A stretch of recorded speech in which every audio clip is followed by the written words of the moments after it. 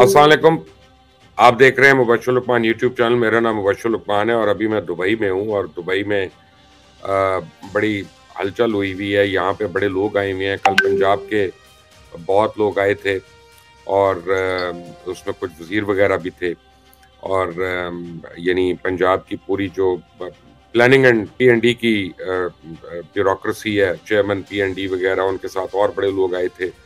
आज, अभी और थोड़ी देर के बाद जब ये प्रोग्राम रिकॉर्ड हो रहा है तो जनाब उस्मान बुजदार साहब भी आ रहे हैं और यहाँ पे उनकी कोई बड़ी इंपॉर्टेंट मीटिंग है। अब उसकी तफसीत मिलेंगी तो मैं आपको बताऊँगा, लेकिन यह कि दिलचस्प बात यह है कि अदम अतमाद की तहरीक के हवाले से अपोजिशन की तमाम सरगर्मियों को खुफिया रखा जा रहा है। Noon League peoples party J U I F के कुछ सियासतदानों को मालूम है कि पस मंजर में क्या खिचड़ी पकड़ी है। यहाँ तक कि इन जमातों से ताल्लुक रखने वाले कई सीनियर रहनुमाओं को भी इल्म नहीं है। के पस मंजर में हो क्या रहा? जब इमरान खान लाहौर आए थे तो तब जहांगीर तरीन से मुलाकात नहीं हुई उनकी। लेकिन अब इंकशाफ हुआ है कि शहबाज शरीफ और जहांगीर तरीन के दरमियान खुफिया मुलाकात हो चुकी है। इससे पहले याद हो आपको तो मौलाना फजल रहमान और जहांगीर खान तरीन के दरमियान भी मुलाकात हुई। अभी जो हालिया मुलाकात हुई है, इस हवाले से जराए का कहना है कि जहांगीर तरीन ने अपोजिशन की जानब से वज़ीर अजम के खिलाफ अदम अतमाद की तहरीक लाने के तनाजुर में अहम तरीन मुलाकात के हवाले से कोई मौक़ नहीं दिया अब शहबाज शरीफ से मुलाकात की तस्दीक या तरदीद किए बगैर, जहांगीर खान तरीन ने कहा कि कुरान जमात से ताल्लुक़ रखने वाले उनके ग्रुप में शामिल अरकान कौमी और सबाई असम्बली ने उन्हें कोई भी सियासी फैसला करने का मैंडेट दे रखा है। उन्होंने ये भी कहा कि सियासतदान की हैसियत से वो दीगर सियासतदानों के साथ बातचीत पर यकीन रखते हैं और ऐसे रबते सियासत का हिस्सा होते हैं। अब उन्होंने ये भी कहा कि हर शख्स मुल्क की मुआशी सूरत हाल को देखकर और बढ़ती हुई महँगाई की वजह से बहुत परेशान है। उन्होंने कहा कि इनके ग्रुप में शामिल अरकान पार्लियामेंट की राय है कि वह आवाम की परेशानियाँ और मुश्किल से लाताल्लुक नहीं रह सकते। गुजशत एक हफ़्ते के दौरान तरीन ग्रुप से ताल्लुक रखने वाले अरकान पार्लियामेंट की एक बड़ी तादाद ने दो मरतबा लाहौर में मुलाकात की। उस हवाले से राना सनाउल्ला का भी एक दावा है। वो कहते हैं कि जी मरकज और पंजाब में हुकूमत के खिलाफ अदम अतमाद के लिए गिनती पूरी कर ली कौमी असम्बली में एक सौ बहत्तर के लिए चार और पंजाब में सादा अक्सरियत के लिए अठारह या उन्नीस वोट्स का मसला है। अपोजिशन अपने आप को मुस्तकम करना चाहती है ताकि दो चार लोग आगे पीछे हो जाएँ तो फ़र्क ना पड़े। क्योंकि हुकूमत को धक्का देना है। कहीं भी निकलते हैं तो आईबी का एक डाला उनके पीछे आ जाता है उनको पकड़ने के लिए। उन्होंने पूरी आईबी को इसी काम पे लगाया हुआ है कि सियासी मुखालफी को किस तरह से जदकूब करना ये तो राना सुनाउल्ला कह रहे हैं। मोहसिन बेग वाले मामले में कप्तान का गुस्सा ठंडा नहीं हो रहा। लगता है कि इस तनाज़े को हुकूमत अपने गले का हार बनाने लगी है।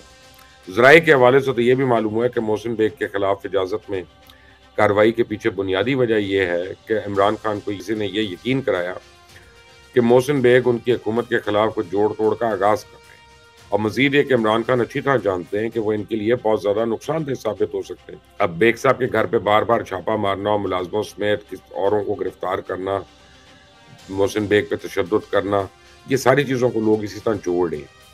अब इसका सबसे ज़्यादा नुकसान सिर्फ़ पीटीआई को हो रहा है। रियाम खान की किताब लोग अब ढूंढ ढूंढ के पढ़ रहे हैं, लोग व्हाट्सएप पे पता नहीं मुझे बीस लोग भेज चुके हैं, मैं तो नहीं पढ़ना चाहता, लेकिन भेज चुके हैं। नेट पर आजकल ये किताब सबसे ज़्यादा डाउनलोड हो रही है।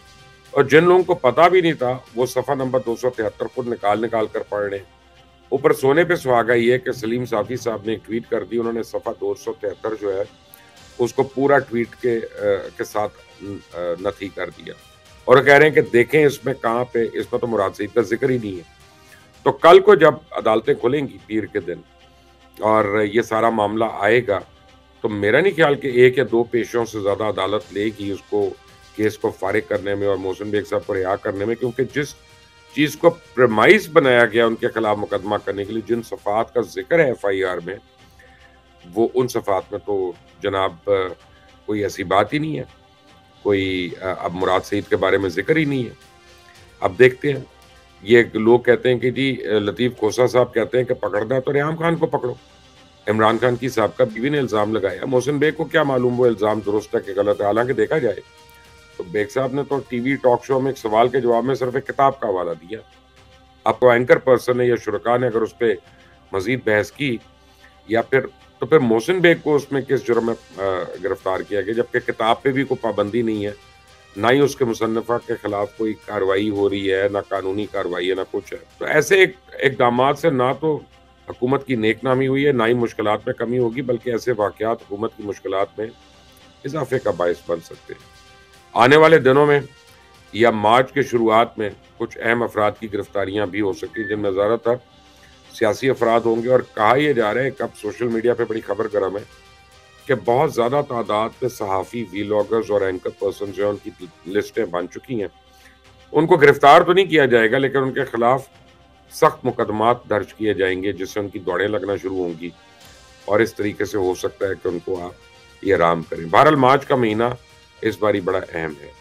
इस महीने इलेक्शन कमीशन से फॉरेन फंडिंग केस का फैसला भी सामने आ सकता है। और इस महीने या इससे पहले, यानी फरवरी के आखिर में तरीक अदम अतमाद और लॉन्ग मार्च का भी इम्कान है। लेकिन फॉरेन फंडिंग केस का फैसला जो है, ये गैर मुतव और धमाके केस भी हो सकता है। ये भी इम्कान है। इलेक्शन कमीशन अपना फैसला कुछ वक्त के लिए महफूज कर ले। और इस फैसले से पीटीआई तो मुतासर होगी, लेकिन मुस्लिम लीग, नून और पीपल्स पार्टी भी मुतासर हो सकती है। अब गुजशत रोज मंडी बाउद्दीन में इमरान खान ने एक बड़ा जलसा किया, जिसमें बातें तो सारी पुरानी थी, लेकिन सरकारी वसाइल का इस्तेमाल बेतरीक नज़र आया। इमरान खान का कहना था कि जी, तीस बरस बाद पाकिस्तान की असम्बली जो है वो डीजल के बगैर चल रही है। और पाकिस्तान की असम्बली सोलर पावर पे चल रही है। शहबाज शरीफ साहब को तनकीद का निशाना बनाते कहा कि छोटे मियाँ साहब का दिल बड़ा कमज़ोर है। उनको पता है कि केस चला तो उन्होंने बचना नहीं है। अगर शहबाज शरीफ बेकसूर है तो वो अदालतों से क्यों भाग रहे अदालतें तो आज आज़ाद है। मरियम साहबा कहती हैं, जी, मेरे पास और भी टेप्स है। अजीब ही फिनोमेन है भाई। आपने कभी सुना है कि कोई सियासतदान कहता हो कि मैं टेप्स के ज़रिए लोगों को ब्लैकमेल करूँ? ये लोग चाहते हैं कि जैसा परवेज मुशरफ ने उन्हें एनआरओ दिया, मैं भी दे दूँ। लेकिन जब तक ज़िंदा हूँ, कभी उनको एनआरओ नहीं मिलेगा। कौम का पैसा वापस करने तक इन डाकुओं के पीछे जाऊँगा। शरीफ खानदान के लिए पैगाम है कि कप्तान इनके हर प्लान के लिए तैयार है। आपको ना सिर्फ़ शिकस्त होगी, बल्कि आप सब जेल भी जाएँगे।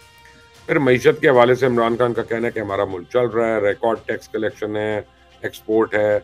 हमारी कभी भी इतनी आमदनी नहीं थी जो आज है। ओवरसीज पाकिस्तानियों ने कभी इतना नहीं पैसा भेजा था जितना आज भेजा है। मगर आज रिपोर्ट हो कि पेट्रोल महँगा करने के बाद बिजली की कीमत में भी भारी इजाफे की तैयारी हो गई है। और नेपरा ने दरख्वास्त दी है कि फ्यूल प्राइस एडजस्टमेंट में बिजली छः रुपए से लेकर दस रुपए फ़ी यूनिट तक महँगी कर दी जाए। अवाम क्या करे? चुप करके मरती रहे। या इसका कोई हल भी होगा, पता नहीं। आने वाले दिनों में आपको मैं मजीद अपडेट्स दूँगा जो दुबई में मुझे और कुछ खबरें मिलेंगी, उनकी भी मैं आपको लेट नाइट अपडेट दे सकता हूँ।